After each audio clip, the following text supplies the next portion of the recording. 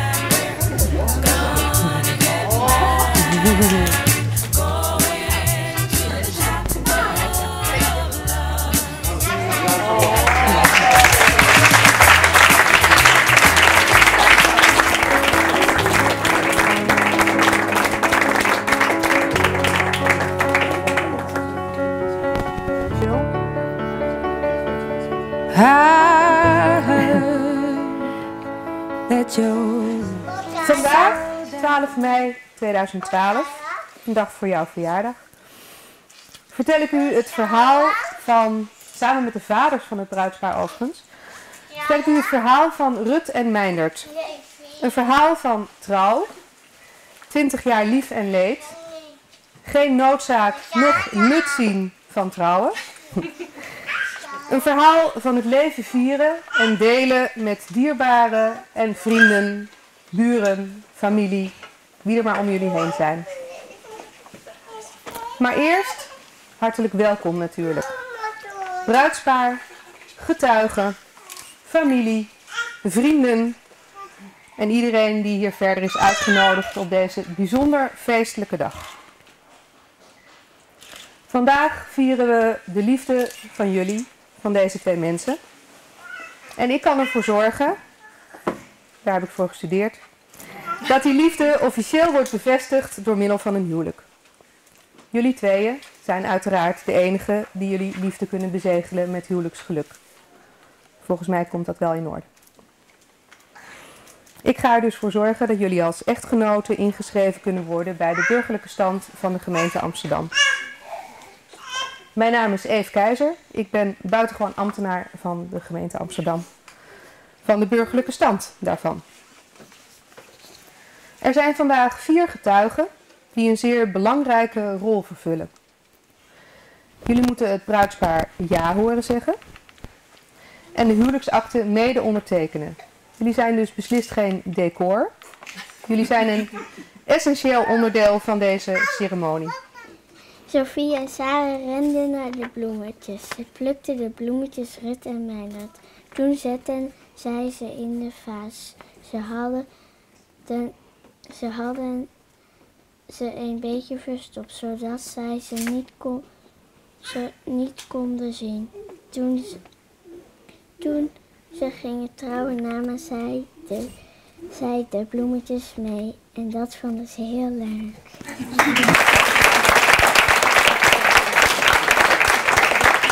zelf bedacht bij deze. Meteen al, hè? Toen ze toen we zeiden dat we gingen trouwen, had je die bedacht, hè? Knap. Hoe dan ook, linksom of rechtsom, Uiteindelijk bereik je toch je doel. Je bent een langzame starter die echter naarmate de tijd vordert aan snelheid en kwaliteit wint. Hardlopers zijn doodlopers. Maar jij bent een gestage doorloper. Maar laten we nog heel even stilstaan bij de onderliggende vragen van deze bijzondere huwelijkssluiting. Is trouwen nodig? Nee. Je kunt aan een niet getrouwde relatie een even goede inhoud geven, zoals ook in de loop van de laatste 20 jaar gebeurd is. Is trouwen dan zinloos? Het antwoord erop hebben jullie, Meijnerd en Rut, zeker aan elkaar gegeven. Want anders zaten we hier niet. Voor ons, voor mij, zou het antwoord op die vraag kunnen betekenen dat deze jullie huwelijkssluiting, met deze gedachte, lieve Meijnerd, lieve Rut, wensen we jullie bij gelegenheid van deze feestelijke gebeurtenissen van harte al het geluk dat jullie zelf graag verwezenlijkt willen zien. Mogen wij ook daarvan heel lang getuige zijn.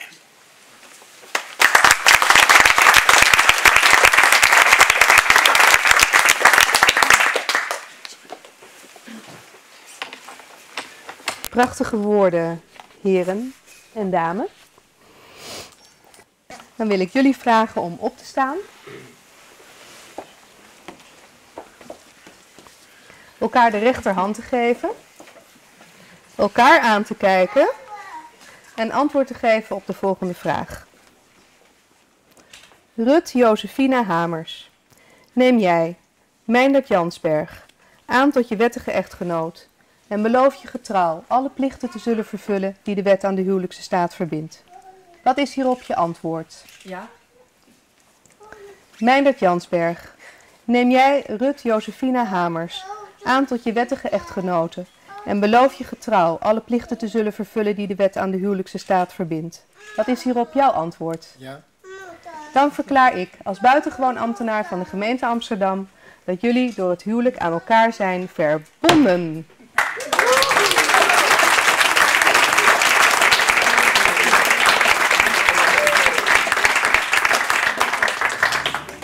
En nu hebben Sarah en Sophie hebben iets voor jullie. L'amour, l'amour, l'amour, l'amour, Het is wel een echte knoop, hè? Ja. Ja. ja, goed zo. Ja, maar die mag mama aan papa geven. Zal ik even wisselen?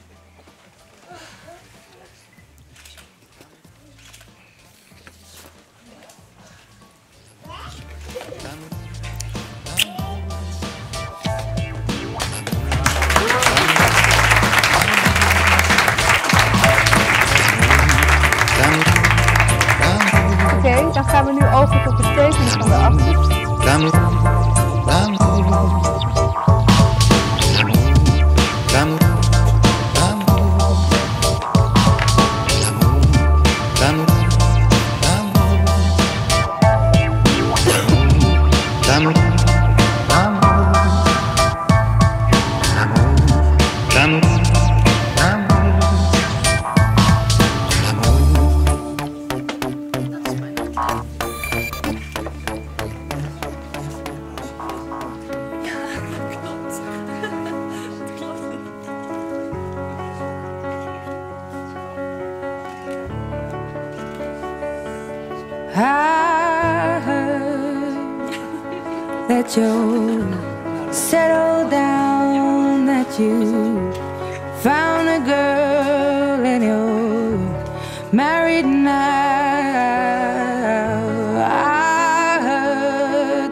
Your dreams came true.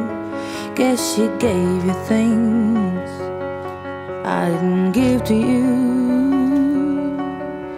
Old friend, why are you so shy? Ain't like you to hold back or hide from the light.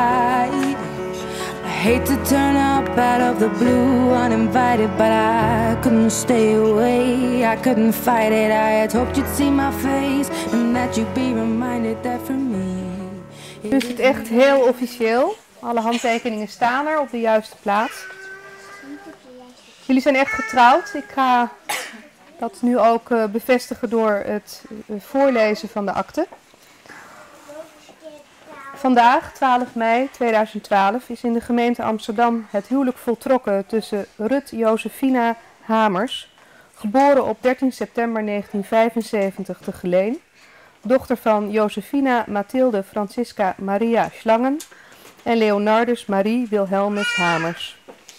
En Meindert Jansberg, geboren op 13 mei 1975 te Sittard, zoon van Magdalena Catharina Hubertina Diederen en Arnoldus Gerardus Maria Jansberg. De echtgenoten hebben verklaard dat zij elkaar aannemen tot wettige echtgenoten en, alle en getrouw alle plichten zullen vervullen die de wet aan de huwelijkse staat verbindt. Waarna de buitengewoon ambtenaar van de burgerlijke stand uitspraak heeft gedaan dat zij door het huwelijk aan elkaar zijn verbonden. Als getuigen bij deze gebeurtenis waren vandaag aanwezig Evert Jansberg, Frank Maarten Berger, Raf Leonardus Hamers en Karin Janine Nijman. De akte is in tweevoud ondertekend. Eentje wordt er hier in Amsterdam bewaard en een andere ergens in een heel brandveilig archief in Almelo. Echtgenoten. Sophie, Sarah. Aanwezigen, getuigen. Dit was mijn bijdrage aan deze dag. En ik hoop dat jullie straks een fantastisch feest hebben op Eiburg met zelfgebakken taarten. En eh, ook dat is geregeld. en eh, dat jullie een heel fijn leven samen hebben.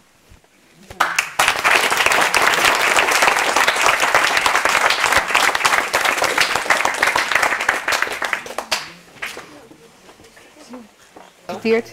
De pen en het trouwboekje, alsjeblieft.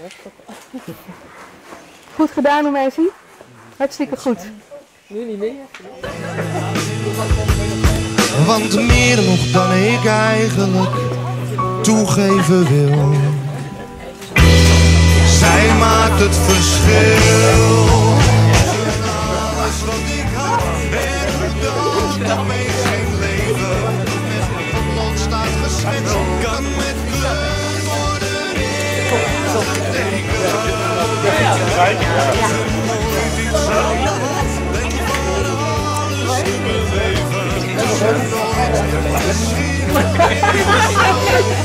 Je lukt me nooit meer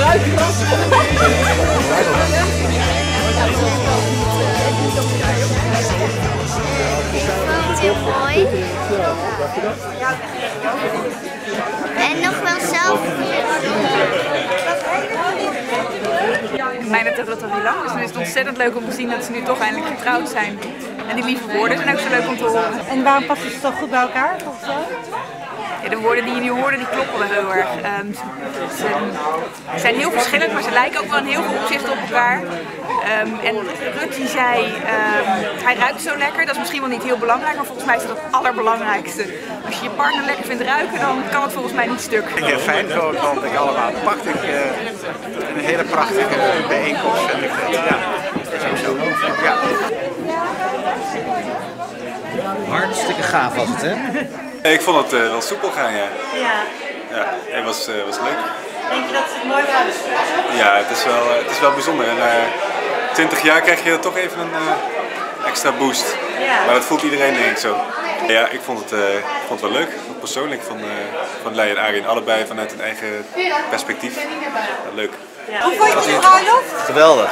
Nooit leuker gehad. Ik heb er helemaal niks van gezien, want ik heb alleen met mijn kinderen een stoppertje gespeeld met de, bij de stoelen daarachter. En het was echt geweldig. Ja, moet ook. Onvergetelijke dag.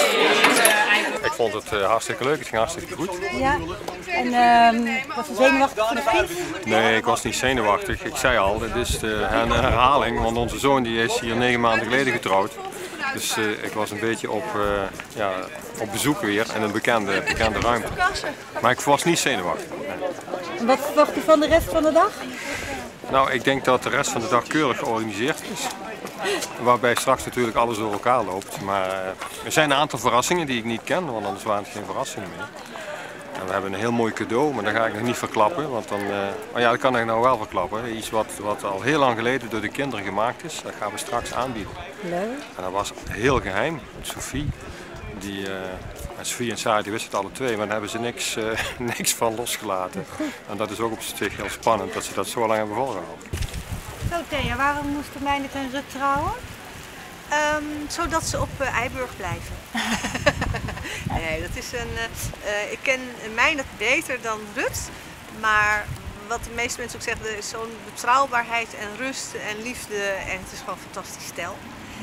Wij zijn sowieso heel erg blij met Meindert en ook vereerd dat we er vandaag bij mogen zijn. Meindert is de voorzitter van het bestuur van Theatra Eiburg en uh, zonder Meindert uh, had Theatra Eiburg niet meer bestaan. Ik vind het bruisbaar er fantastisch uitzien en uh, Rit zag er, zat haar haar heel mooi en zag er ook heel mooi uit en Meindert ook. Ja, en de kindjes waren zo mooi gekleed. En had je verwacht in het zwart? Ja, we hadden het al gezien, dus het was al een beetje verklapt, en, maar heel mooi. Ja. Lekker waarom... tegen de contra, de, de traditionele. Het past ook wel bij hun. En waarom passen ze zo goed bij elkaar?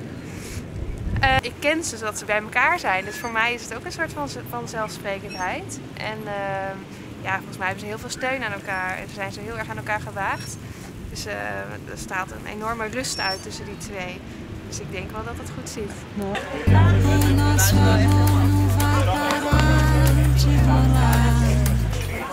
de fugir e seguir como rio,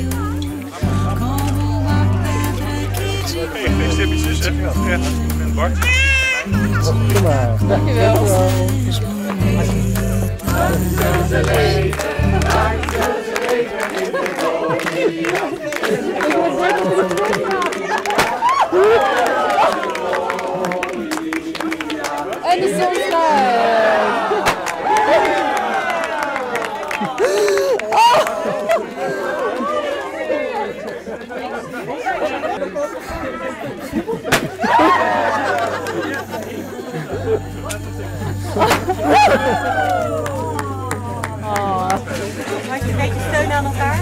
Zeker, ja, we hadden zeker elkaar. Ik vond het wel erg spannend. Ja. Toch wel. Spannender dan ik gedacht.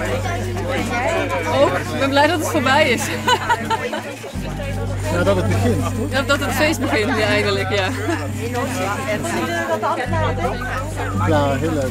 Ja, Ja, en, eh, precies zoals we hadden gezegd.